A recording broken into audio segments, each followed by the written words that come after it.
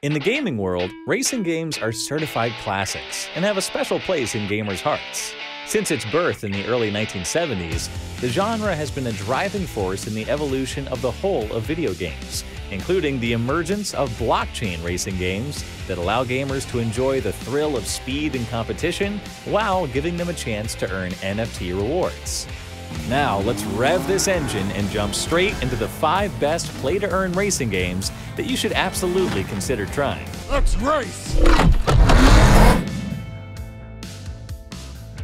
To kick us off, we have REVV Racing by Animoca Brands, a game that kickstarted the next generation of blockchain racing games. As the first ever arcade simulation car racing game on the blockchain, REVV Racing has grown to be one of the most popular gaming dApps on its native chain, Polygon. REVV Racing attempts to give users the feel of traditional racing games, with cars that feel different from each other, cool features like real-life tracks, controller support, and is playable directly from a browser. You can also test your driving skills against other players by competing in events for a chance to win Shard and REVV, and create your own NFTs through the Fusion system. To get started with REVV Racing, you'll have to buy some REVV tokens as an entry fee, the ecosystem's native currency.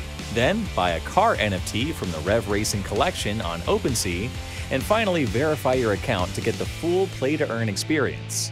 The game is powered by the Shard and REVV tokens, both of which can be used across the REVV Motorsport ecosystem. Next up, we have another game by Animoca Brands, MotoGP Ignition, built on the Flow blockchain as an officially licensed MotoGP competitive management and collectibles game. This means you can own and trade collectibles of your favorite bikes and personalities from MotoGP on the blockchain, including the video moments, Hotshots.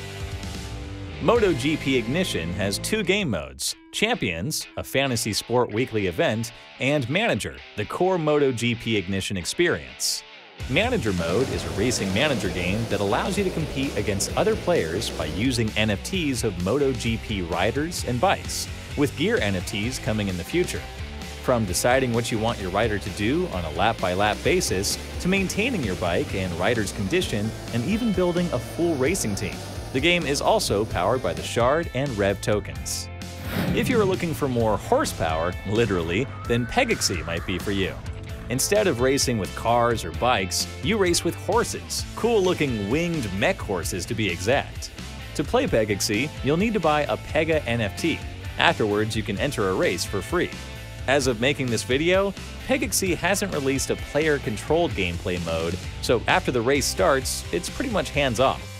You'll have to watch your Pega compete against others with factors such as the horse and stadium attributes determining your performance. The goal of the race is to place in the top three and earn rewards in the form of VIS, its in-game currency.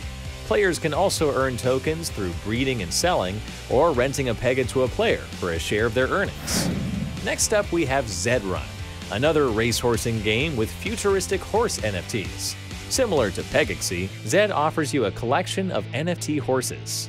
After purchasing one through the Zed Run OpenSea collection, you can either start competing in races by first paying a buy-in fee that determines the size of the prize pool, or participate in free races that offer XP rewards. Paid races offer a top 6 payout structure, meaning that all of the top 6 racehorses receive a share of the prize money. These races are simulated, though the unique characteristics of your horse play a part in determining its likelihood of winning. This, of course, may make breeding a lucrative strategy for playing the game. Last but not least, we have Dragon Kart, a Mario Kart-esque skill-based 3D racing game. Dragon Kart is built on the Binance Smart Chain and features cute cartoon characters taken from the Pekalong series by a well-known Vietnamese artist named Tong Fly. The game offers two gaming modes, free-to-play and play-to-earn. The former works by giving new players a default character and racing car to participate in the racing arena of Dragon Kart. While rewards are not limited to play-to-earn users, it'll take significantly longer for free-to-play users to achieve higher ranks and win rewards than players who buy characters and cars in the marketplace. Kart dollars, the in-game currency, can be staked to receive points, which can be redeemed for other NFTs. Alright, those were some of the best racing play to earn games. But as you can see, developers are trying to come up with blockchain based games that people would actually want to play. Of course, earning while at it is the icing on the cake, but attracting and maintaining players is the real obstacle that they have to overcome first. That said, if racing games aren't your thing, check out this video where we cover a complete review of Big Time, a blockchain-based MMO RPG game.